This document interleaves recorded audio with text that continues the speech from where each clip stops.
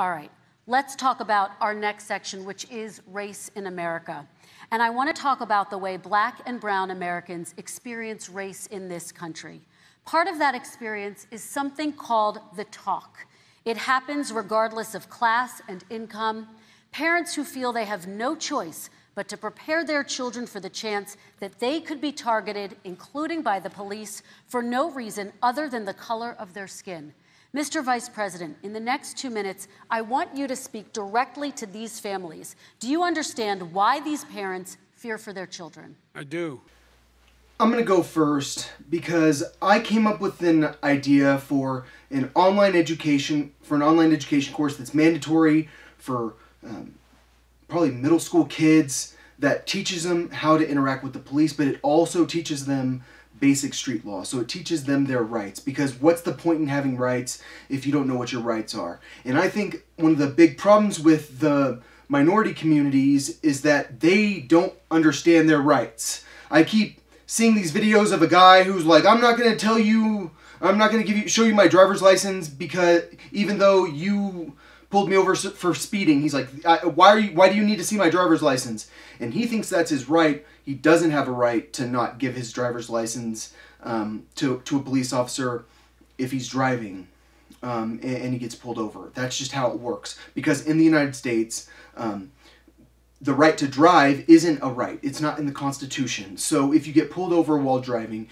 you are doing something that is a privilege, and therefore you have to show your um, driver's license. And if you're walking down the street, you don't have to show your driver's license. And that's the difference. And I want to explain that to kids. And I think one of the biggest problems we have is that kids don't understand the law. That's what I'm for. Um, and, and so I think all, all parents should have the talk with their kids, which is you have the right to remain silent, wait to um, have a lawyer present when you talk to them. Um, you don't have to answer the door. They don't have the right to come into your house unless you actually open the door. Um, like because they can they can say they have probable cause if they if they if you don't open the door they don't have probable cause. That's the sort of thing I actually want to teach kids because I think the law should be on normal people's side. I don't think the law should be on the police's side. Um, I'm an online education guy, so that's why I wanted to do it that way. I do. You know, my daughter is a social worker, and uh, before he actually explains whatever about his daughter, um, I do agree that black people are targeted more than white people, and I do think that black people are, are treated worse than white people because white people are kind of feared because there's nothing like a white lawyer that will sue you. And so police departments fear being sued. And so um, black people don't in, instill the same amount of fear in the police. Um, and that's why I am for police reform. Um, I'm for I'm also for uh, giving the police less reasons to harass people, and I think that's one of the biggest problems we have is the police have too many reasons to harass people, and we're acting like nothing needs to change in the law. But if we change the law, the police won't have a reason to mess with people so much because the police should be there to protect people when they're in danger. The police should be there when you get robbed. The police shouldn't be there when you're just minding your own business. She's all she's written a lot about this. She has a graduate degree from the University of Pennsylvania in social work. And you know, uh, one of the reasons why I ended up working on the east side of Wilmington, Delaware, which is 90% African American, was to learn more about what was going on. What I didn't, I never had to tell my daughter if she's pulled over, make sure she puts for a, a traffic stop, put both hands on top of the wheel and don't reach for the glove box because someone may shoot you. But a black parent, no matter how wealthy or how poor they are, has to teach their child when you're walking down the street, don't have a hoodie on when you go across the street. Making sure that you, in fact, if you get pulled over, yes, yes, sir, no, sir, hands on top of the wheel, because you are, in fact, the victim, whether you're a person making 300000 child of a $300,000 a year person or someone who's on, on, on food stamps. The fact of the matter is, there is institutional racism in America. And we have always said, we've never lived up to it, that we hold these truths to be self evident. All men and women are created equal. But guess what? We have never, ever lived up to it, but we've always constantly been moving the needle further and further to inclusion, not exclusion. This is the first president to come along and says, that's the end of that. We're not going to do that anymore. We have to provide for economic opportunity, better education, better health care, better access to schooling, better access to opportunity to borrow money to start businesses. All the things we can do, and I've laid out a clear plan as to how to do those things just to give people a shot. It's about accumulating the ability to have wealth as well as it is to be free from violence. President Trump. I wanted to comment on that real quick. I'm all about minority owned businesses. I love black owned businesses. I'm for small businesses. I think that small businesses are better at employing people than large corporations because um, Google can't, that their ceiling for how much money they can make can get pretty high, but um, how many people they really need to work for them starts to get questionable at some point. Um, because they only have so many things that people can do. Even when they're doing all sorts of research projects, they have, they have to find new things for people to do, um, and and then that hurts their ability to make profit, and that hurts their ability to get people to put money into their stock, which um, you need people to want to buy your stock. Um, so uh, I'm I just wanted to say that uh, I am very for minority-owned businesses. Same question to you, and let me remind you of the question. I would like you to speak directly to these families. Do you understand why these parents fear for their children? Yes, I do. And again, he's been in government 47 years. He never did a thing except in 1994 when he did such harm to the black community. And they were called, and he called them super predators. And he said that. He said it, super predators. And they have never lived that down. 1994 your crime bill, the super predators. Nobody has done more for the black community than Donald Trump. And if you look, with the exception of Abraham Lincoln, possible exception, but the exception of Abraham Lincoln, nobody has done what I've done. Criminal justice reform, Obama. What Donald Trump has done is created greater division between the races than we have ever had. I mean, like like Joe just said, we were moving towards inclusion. It was we were moving towards a society where uh, we stopped caring about race. And now we care about race so freaking much that it's turned people that weren't racist into racist people. I'm seeing people on the internet that I, I they're married to minorities. And they sure are starting to seem a little racist. And it's like, your husband's Mexican. And it's like, you have Mexican children. Like, you're, you're, you're seeming racist here. But that's because this guy over here, Donald Trump, wants to make people that don't normally vote, he wants to make all these super hateful rednecks come out of the woodworks to vote for him. And he wants people to be passionate about him. And he thinks the best way to make people passionate about him is to make them racist.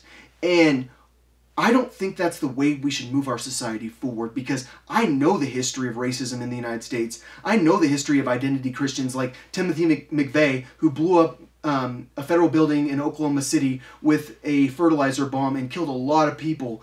And um, like like I mentioned in the last debate, Bill Clinton dealt with this um, militia group who was planning on poisoning a water supply. Um, that was when he was governor of Arkansas. He, I mean, these people were very militarized. I mean, there are groups in the United States that are ve- very militarized and they want to fight for something because they believe that war is beautiful and they love war and they fantasize war and they watch TV or they fantasize about war and they watch TV shows about war and they watch movies about war and they think that war is beautiful but really war is fear and I'm just saying like at some point I'm going to be grateful that there are a lot of people that fantasize about war because I'm trying to go to war because I think we need to deal with this Russian spy problem. I think we need to deal with the problem that our government is infiltrated that much that we don't know who we're for. And that's why the way I'm doing this war, I don't care who you're for. You're for me now. You're for my government now. You're going to join me in winning this war. I mean, that's what we're going to do because we're going to make sure our future's taken care of. Congratulations, you won the lottery. Actually, you probably earned it because let's face it, spies tend to be very, very, very talented. And I think people need to understand terrorism is personal to me. Terrorism affects me. When people murder my people, when people do mass shootings against my people, do you know how often that happens and how, often that's in my direction? It happens a lot. It's there's not a it's not a coincidence that I run into the Austin bomber. I'm just saying like this is a, a very common thing for me. Like I, I know it sounds weird. Terrorism like towards your people is a common thing for you. Like terrorism directly affecting you is a is, is a common thing for you. Yes, at this point in my life, terrorism is a common thing for me. Uh, it affects me, and that's why I take it so freaking seriously. And I think that terrorism is a symptom. I mean, it's a symptom of, uh, of a lot of other things that are happening in society. And um, if you want to live in a society where um, you have a strong like leader who's going to prevent terrorism attacks, not just with um, spying on people, but is also going to prevent terrorist, terrorism attacks by fighting the philosophy. Vote for me because I'm not going to try to encourage people like these crazy militia guys out in Arkansas who are going to poison an entire city. and Joe didn't do it. I don't even think they tried because they had no chance at doing it. They might have wanted to do it, but if you had to see the arms I had to twist to get that done, it was not a pretty picture. And everybody knows it, including some very liberal people that cried in my office. They cried in the Oval Office. Two weeks later, they're out saying, gee, we have to defeat him. Criminal justice reform, prison reform, opportunity zones with Tim Scott, a great senator from South Carolina. He came in with this incredible idea for opportunity zones. It's one of the most successful programs. People don't talk about it. Tremendous investment is being made. Biggest beneficiary, the black and Hispanic communities, and then historically black colleges and universities. After three years of coming to the office, I love some of those guys. They were great. They came into the office and they said, I said, what are you doing? After three years, I said, why do you keep coming back? Because we have no funding. I said, you don't have to come back every year. We have to come back because President Obama would never give them long term funding, and I did. 10 year long term funding, and I gave them more money than they asked for because they said, I think you need more. And I said, the only bad part about this is I may never see you again because I got very friendly with them, and they like me and I like them. But I saved historically black colleges and universities. Okay, and we're going to talk about both of your records, but your response to that, Vice President? My response to that is I never, ever said what he accused me of saying. The fact of the matter is, in 2000, though, after the crime bill had been in, in, in, in, the law for a while, this is the guy who said the problem with the crime bill, there's not enough people in jail. There's not enough people in jail. And go on my website, get the quote, the date when he said it. Not enough people. let's be honest, Donald Trump can act like he's against um, the prison system, but everyone that is affected by the prison system knows that Donald Trump is for locking people up. And if black people think that Donald Trump is for them because Donald Trump talks like he's for them and some black people have endorsed him, you're nuts. Donald Trump is for the prison system. I know. I personally know the Department of Justice, Bill Barr is who, like, you, when you want to know if, if Donald Trump's for the prison system, who, who did he appoint? Bill Barr. And Bill Barr is, like, the guy that was in charge when Joe Biden was pushing for, for these prison, these crazy laws about drugs and stuff like that. So, um, all I'm saying is um, he's criticizing Joe for for hurting the black community with his with his crime bill. He put the Department of Justice head uh, back then in charge of his Department of Justice now, and he has been very radical in putting people in jail, and he is not trustworthy. I'm talking about Bill Barr. Like Bill Barr has gone way way beyond the beyond the Constitution, and I I think that if you're a law enforcement person that goes um, outside the Constitution, then you should get in trouble for it. So um, Donald Trump is definitely not for prison reform. He's for locking people up. He talked about marauding gangs, young gangs, and the people who are going to maraud our cities. This is a guy who, in the Central Park Five, five innocent black kids, he continued to push for making sure that they got the death penalty. None of them were, none of them were guilty of what the crime of the crimes they were suggested. Look, and talk about he. Granted, he did in fact let 20 people. He commuted 20 people sentences. We commuted over a thousand people sentences. Over a thousand. The very law he's talking about is a law that, in fact, initiated by Barack Obama. And secondly, we're in a situation here where we, the federal prison system was reduced by 38,000 people under our administration. And one of these things we should be doing, there should be no, no minimum ma- mandatories in the law. That's why I'm offering $20 billion to states to change their state laws to eliminate minimum mandatories and set up drug courts. No one should be going to jail because they have a drug problem. They should be going to rehabilitation, not to jail. The question is, what does your what do the, what does what does the drug problem result in? Because did the drug problem result in them selling drugs and therefore um, they do have to go to prison for a long time? I mean, that's that's the real question because generally drug addicts sell drugs and that's how they support their habit. And you can say that's not the case. It is the case. And so joe biden can say he's for drug courts because he is. And um, he is for drug addicts but he's for drug addicts that don't actually sell drugs that just buy drugs and I think it's the same case with Kamala Harris. And my guess is that um, Barack Obama picked Kamala Harris because Barack Obama is that important in the in the political party right now, and Barack Obama thinks Kamala Harris is the best, even though, like in my opinion, historically black colleges aren't the best colleges.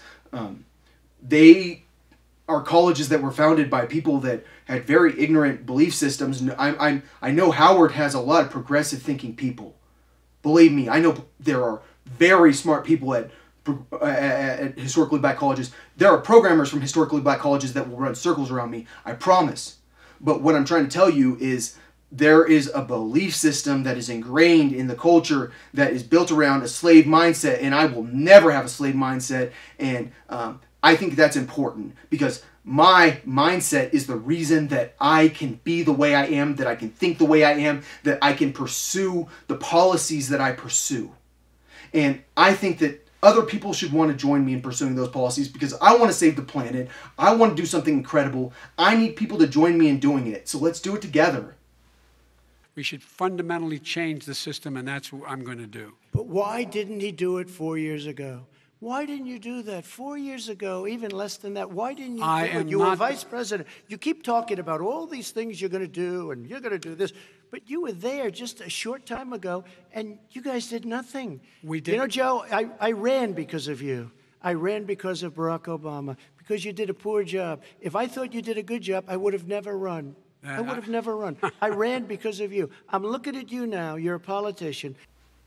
Before Barack Obama was elected, I wrote a lot of people in the government letters saying that we should use Barack Obama as a psychological warfare weapon. I, I'm pretty sure I wrote Robert Gates the letter too. And um, what I said is that he needs to go to Cairo in his first 100 days, or the center of the Islamic world, which is Cairo. And he needs to give a speech, and he needs to say uh, in English um, words that get translated into Arabic in a certain way that um, work great for Muslim minds because it should be written in Arabic and then translated to English, and then he should speak. It, it, he should speak in English, but it should be written in Arabic first. And uh, I basically wanted him to go talk about his father and stuff like that. And there's a reason Barack Obama won a Nobel Peace Prize. It's because he was a pretty good peacemaker. I mean, it was the, the reason Barack Obama was so confusing for a lot of people is because like this guy's like the most peaceful, worded guy of all time, but then he's like killing all these people. You know, I'm talking about in Pakistan with drone strikes. I mean, the Bush administration didn't do any drone strikes compared to the Obama administration. Obama got in charge and he started massacring people. And um, and I, I think that what people need to understand is that um, all it takes is killing one person's family for uh, that person to come back at you someday and do 9-11 and that's why i believe that we should be a little bit more um, peaceful peaceful in our foreign policy until we're violent. Like i am not i'm like for the most peaceful like most beautiful foreign policy of all time until it's time to be violent. And then i'm going to be violent to the point that i don't have to worry about it because this this thing's settled. And i think barack obama had no problem killing people. So it's, i mean i don't know how i ended up getting to that point sorry about that I ran because of you. All right, Vice President Biden, your response to that, and then I do have some questions for both of you. Well, I tell you what, I, uh, I hope he does look at me because what's happening here is you know who I am, you know who he is, you know his character, you know my character, you know our reputations for honor and telling the truth. I am anxious to have this race. I am anxious to see this take place. I am, the character of the country is on the ballot. Our character is on the ballot. Look at us closely. Let me ask some follow Excuse me. Please. res- I'm sorry, but I think that if there's anything we know is that your character has a little bit of a blemish on it. I mean, I don't know. I think my character has blemishes on it. Uh, honestly, I, I've I don't want to talk about the stupid things I did when I wasn't thinking, like hitting golf balls at a at a freaking house. Um, but um, honestly, but your your character things, it's like right there in front of the entire world. You let your son be a political pawn in a way that just feels slimy. Respond, If and then we're this going to have stuff is true questions. about Russia, Ukraine, China, other countries, Iraq, if this is true, then he's a corrupt politician. All right. So don't give me the stuff about how you're this innocent baby. Joe, they're calling you a corrupt politician. Nobody's Take a look President at the Trump, I wanna stay hell. on the issue Excuse of me, race. We're talking look at about the the issue- laptop from hell. President Trump, we're, we're talking about race right now, and I do want to stay on the issue of race. President Trump, and I you've have to respond to that. Please, Because look, very there are 50 former national intelligence folks who said that what this he's accusing me of is a Russian plant. They have said that this is has all the char- four, five former heads of the CIA, both parties say what he's saying is a bunch of garbage. Nobody believes it except the, his and his good friend Rudy Giuliani. You mean the laptop is now another Russia, Russia, Russia hoax? And You that's be- exactly what- Is this that's where you're exactly going? what This is told. where he's going. The That- All right. laptop is Russia, Oh. Russia, Gentlemen, Russia. I want to stay on the issue of race. You okay? have to be kidding. Here we go President, again with Russia. We're going to continue Boy, on the oh, issue of race. Mr. President, you've that one. described the Black Lives Matter movement as a symbol of hate. You've shared a video of a man chanting white power to millions of your supporters. You've said that black professional athletes exercising their First Amendment rights should be fired. What do you say to Americans who say that kind of language from a president is contributing to I understand that people are concerned about the possibility that um, a white supremacist is elected right now, or that a white supremacist will be elected to replace him. Because let's face it, I am a white supremacist. I'm not always a white supremacist. I I, I heard about this kid who um, is a black kid who's a genius, who's in college right now, who's studying engineering, and he's very impressive. And I'm just saying, like, he's smarter than me, but he's not. And all I'm saying is that my people have invented everything.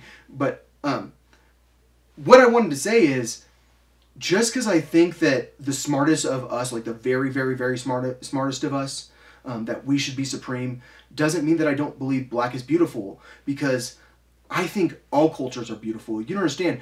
I am the type of person that is chosen for diplomatic purposes. Like I, I'm a, I, I believe. I do you want to know what I believe about myself? I am a diplomat. I'm a diplomat clone.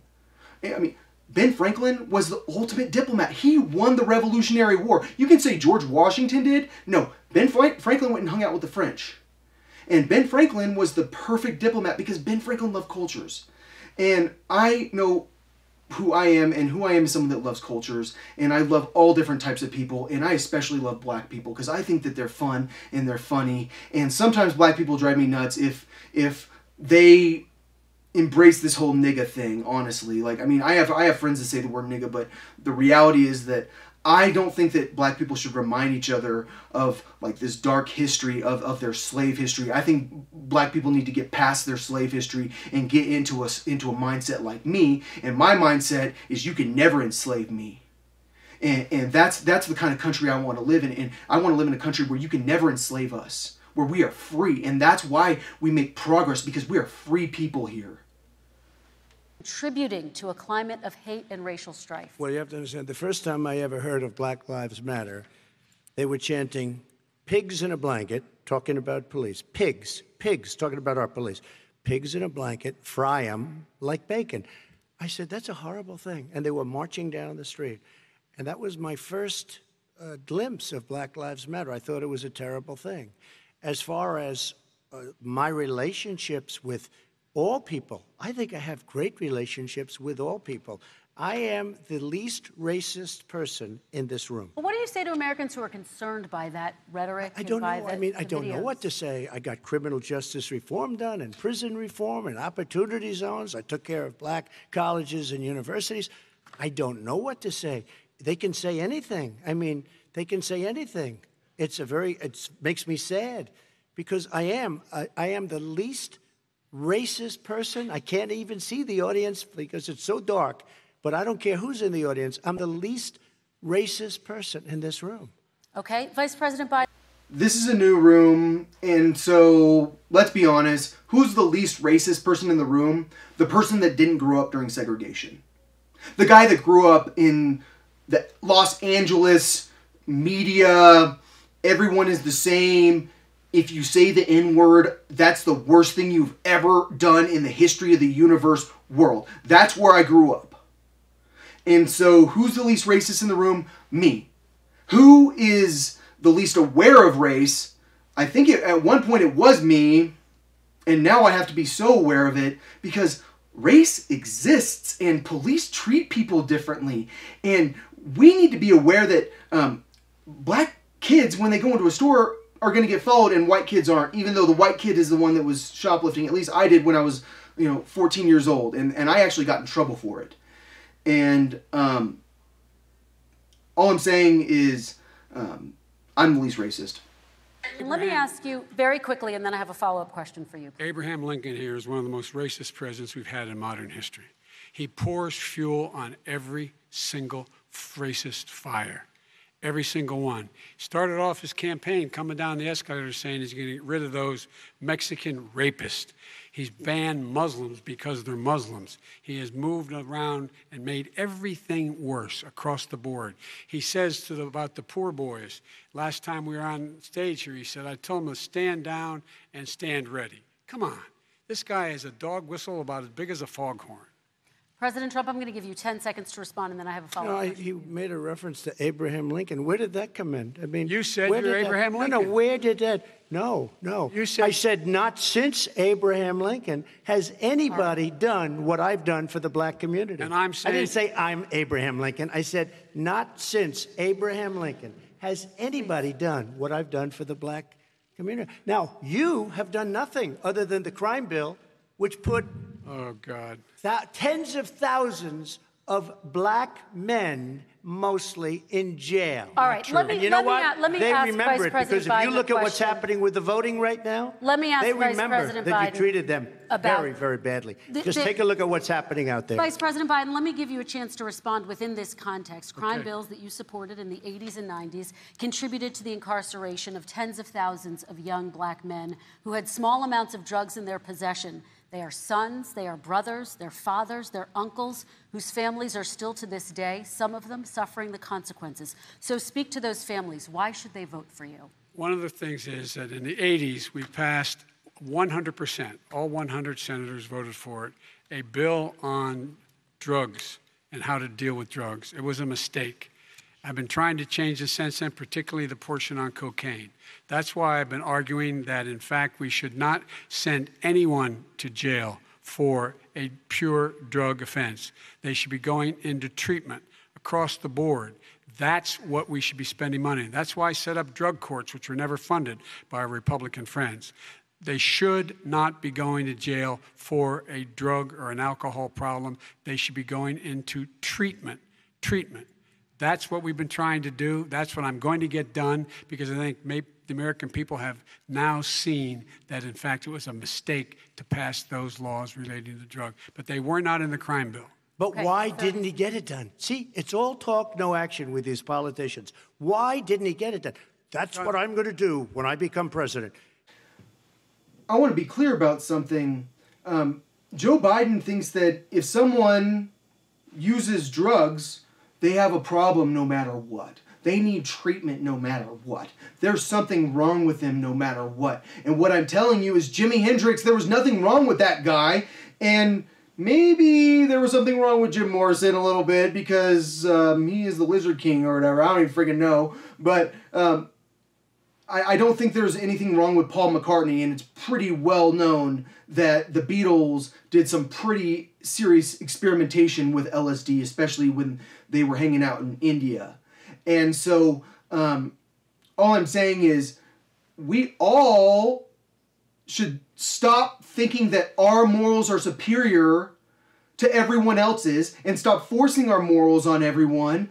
And we need to give people opportunities to seek treatment. I agree. There are serious, serious drug addictions that happen, especially when we're talking about crack cocaine. And when he's talking about this this this problem with the when, when Joe Biden's talking about this problem with uh, cocaine in the in the drug bill. He's talking about crack cocaine, where um, the black community, which is the poor, which is which tends to be a poor community, was disproportionately affected by the crack epidemic because um, the sentencing was so harsh for people selling crack. And so it was like so many black people that were getting put in prison for long periods of time for selling crack, and that's because they were addicted to crack. And then crack's so addictive that I mean it's it's crazy. I remember this this guy Rick used to smoke crack in front of a mirror and they'd look at the mirror out the window to see if the police were coming for him and he'd smoke crack by the candlelight when I was like 14 years old because at least that's what people told me because he was because he was so paranoid because of crack. So crack's a serious serious drug and so that's why they sentence people that way.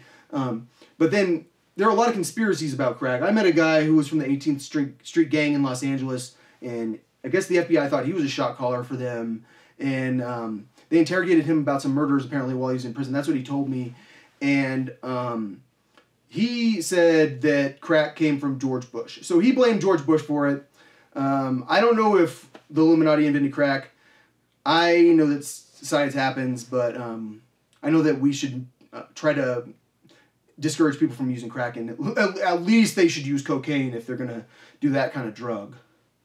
You were vice president along with Obama as your president, your leader, for eight years. Why didn't you get it done? You had eight years to get it done. Now you're saying you're going to get it done because you're all talk and no action, Jim. We got a Your lot response. of it done. We released 38,000. We got 38,000 prisoners left from the. You got out- nothing done. 38,000 prisoners were released from federal prison.